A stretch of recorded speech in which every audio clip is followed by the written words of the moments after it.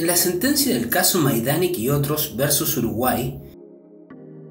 la Corte Interamericana de Derechos Humanos declaró responsable internacionalmente al Estado de Uruguay por las violaciones a distintos derechos humanos en perjuicio de Luis Eduardo González González y Óscar Tassino Astiazú, víctimas de desapariciones forzadas que principiaron durante la dictadura que sufrió Uruguay entre 1973 y 1985 y sus familiares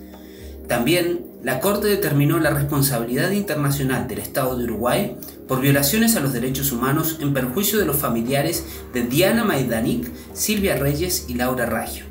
ejecutadas por militares en la misma época. Más de tres décadas después, no se sabe toda la verdad sobre lo ocurrido ni se han determinado todas las responsabilidades penales por estos hechos. La Corte Interamericana de Derechos Humanos concluyó que el Estado es responsable por la violación de los derechos de los señores González González y Tassino Astiazú al reconocimiento de la personalidad jurídica, a la vida, a la integridad personal y a la libertad personal. A su vez, el Estado es responsable por la falta de acciones adecuadas de investigación de las desapariciones forzadas, violando los derechos judiciales y a la protección judicial de las dos víctimas desaparecidas y sus familiares. Por otra parte, la Corte concluyó que el Estado no investigó en forma debida las muertes violentas de las jóvenes Maidanic, Reyes y Raggio, por lo que violó los derechos de sus familiares a las garantías judiciales y a la protección judicial. Los hechos que dieron origen a las violaciones a derechos humanos determinadas en este caso se produjeron durante la dictadura cívico-militar en Uruguay, que se mantuvo desde el 27 de junio de 1973, luego de un golpe de Estado hasta el 28 de febrero de 1985. Durante dicho periodo se cometieron graves violaciones a derechos humanos por parte de agentes estatales. Las mismas incluyeron la práctica sistemática de detenciones arbitrarias, torturas, ejecuciones y desapariciones forzadas perpetradas por las fuerzas de seguridad e inteligencia. El tribunal advirtió que los señores González González y Tancino Astiazú fueron privados de su libertad en un contexto de detenciones ilegales en centros clandestinos. La Corte notó que no hubo acciones inmediatas de búsqueda de los señores González González y Tassino Esteazú y que luego de más de 44 años de sus desapariciones, todavía no hay certeza sobre el paradero de las dos personas. El Estado en este aspecto no ha observado una conducta diligente, indicó la Corte Interamericana.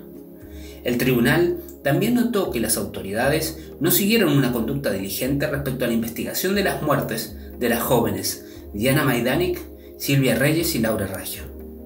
A esta situación se agrega que luego de finalizada la dictadura el 22 de diciembre de 1986, se expidió la ley de caducidad, con la que caducaba la pretensión punitiva del Estado respecto de los delitos cometidos hasta el 1 de marzo de 1985 por funcionarios militares y policiales. Acerca de esta ley, la Corte señaló que tuvo un impacto directo en todas las actuaciones de investigación atenientes al caso que se vieron interrumpidas por varios años. Los tiempos que se han tomado en la investigación de estas desapariciones sobrepasan parámetros de razonabilidad.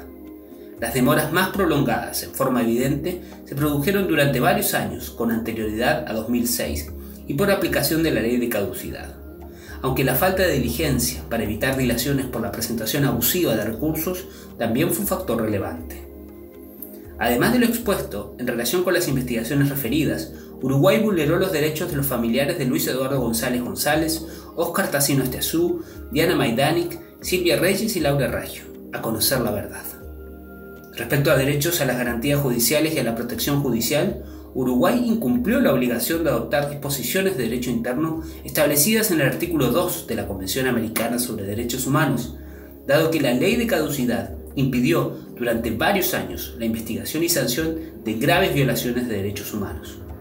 Como consecuencia de las violaciones a derechos humanos antes expuestas, el Estado lesionó el derecho a integridad personal de los familiares de las cinco personas nombradas, contraviniendo el artículo 5 de la Convención Americana.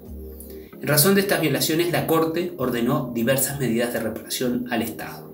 Puedes acceder a la sentencia y al resumen de la sentencia en el sitio web de la Corte Interamericana de Derechos Humanos. Corte Interamericana de Derechos Humanos, protegiendo derechos.